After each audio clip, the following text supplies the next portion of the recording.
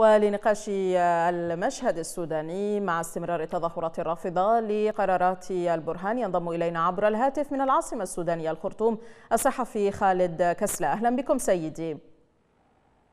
أهلا وسهلا أهلا مرحبا. كيف يمكن تقييم التطورات الأخيرة في السودان خاصة بعد إغلاق بعض الجسور في العاصمة الخرطوم وخروج تظاهرات؟ أي نعم طبعا يعني بعد صدور قرارات 25 أكتوبر الماضي يعني والتي قضت بتغيير تشكيلة الحكومة الانتقالية إلى إلى تشكيلة جديدة.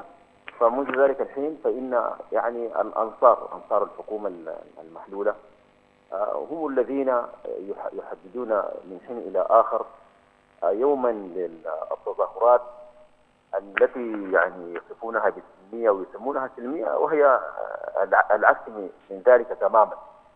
فهي مظاهرات يعني يعني فيها التخريب وفيها التحطيم وفيها التكسير وفيها إغلاق الطرق أمام سيارات الإطفاء والاسعاف والأطباء والعاملين في القطاع الخاص وتعطيل الحياة تماما. وهم طبعا هكذا من حين إلى آخر لكن الطرق يعني المعذرة سيد خالد الطرق وهذه الجسور التي وردت في خبرنا كانت من إغلاقها كان من قبل السلطات السودانية وليس المتظاهرين.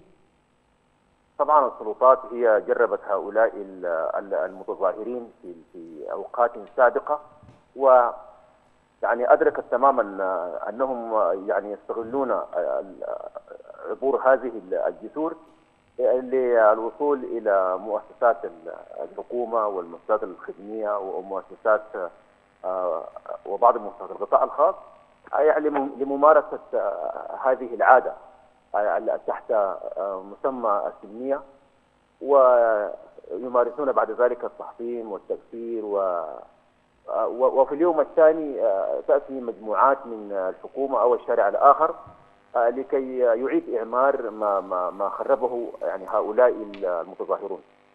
لكن ما سبب سبب خروج هذه التظاهرات المتعارف عليه؟ أن هذه الحشود من المتظاهرين خرجت اعتراضا على القرارات العسكرية الأخيرة في السودان والمطالبة بحكومة مدنية. الحكومة المطالب بحكومة مدنية هذا طبعا كلام عبثي لأن الحكومة أصلا مدنية وحتى في النظام البائد الحكومة كانت مدنية. الإجراءات و... الأخيرة لم تكن كذلك نعم. سيد خالد. نعم الإجراءات يعني أغلبية يعني أغلبية الذين يساقوا في الطرقات يعني هم لا يفهمون جوهر وطبيعة هذه القرارات. أشكرك. شكرا جزيلا لك الصحفي خالد كسلة. حدثنا عبر الهاتف من العاصمة السودانية الخرطوم.